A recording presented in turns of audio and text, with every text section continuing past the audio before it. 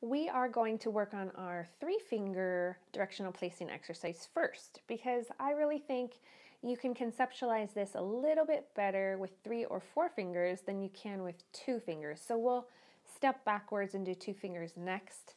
Um, but we're just going to work in one direction at a time. Then we'll start to mix up the directions so that you can see how directional placing really works. Um, here, we'll just choose a C major triad. Notice that I put my fingers on the strings together because that's the first bracket that you'll see. And then we're going to play up to the G. G is our pivot note. So the only string that we're playing from G down to C is G, then C. So we play G. Now we're going back up again. So I put two and one on together.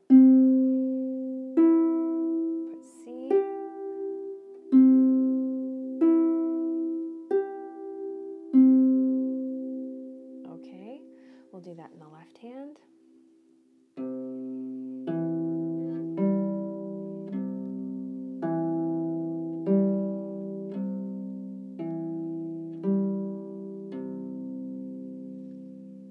Okay, so now we'll change directions. We'll start from G and we'll just work down.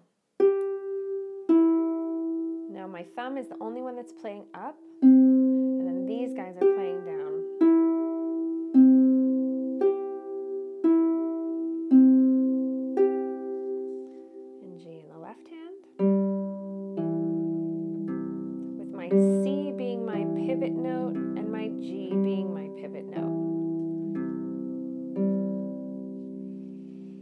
Okay, now taking that a step further, we would just move up in a scale like fashion, but continuing to keep that triad form. So that means stacked thirds um, where we have two sets of thirds on top of each other.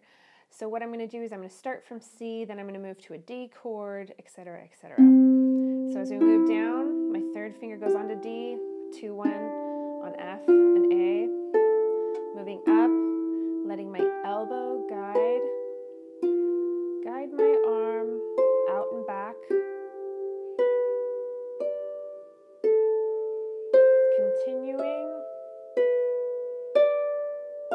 closing into my palm after playing each time. Okay? So now we'll go down, same descending pattern. Starting with the thumb. Notice that two and three now go on together.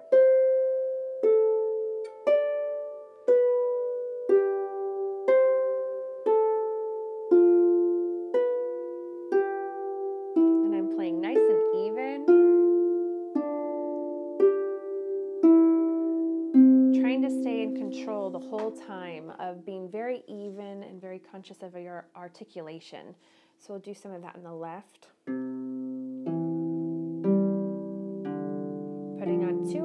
Together as we go up, and third finger only as we play down. You can work on speed after you get the control of it at a very slow tempo. Now instead of just doing this hand separately, I'm going to put the hands together. Sometimes that's easier, sometimes that's a little harder. Um, I would say for some people you feel more balanced if you have both hands on. So going down, but both hands are doing same hand position. Thumb up, two and three on together. Speed up.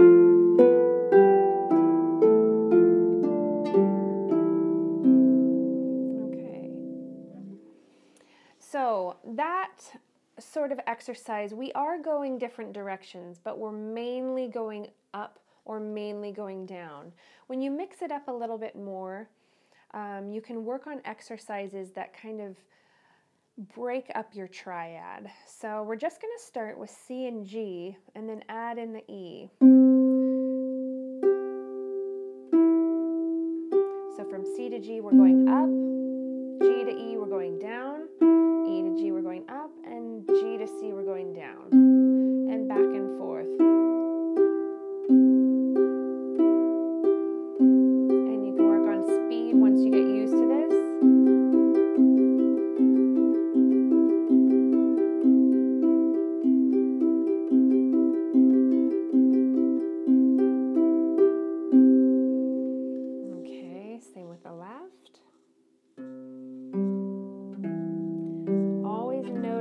which direction you're playing. Because if I added in the C too early, it would be a struggle not to play it.